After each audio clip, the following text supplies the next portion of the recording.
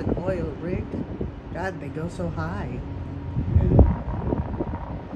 That's what Bruce Willis was on in Armageddon. yeah, I don't understand what the things are that stick up so high.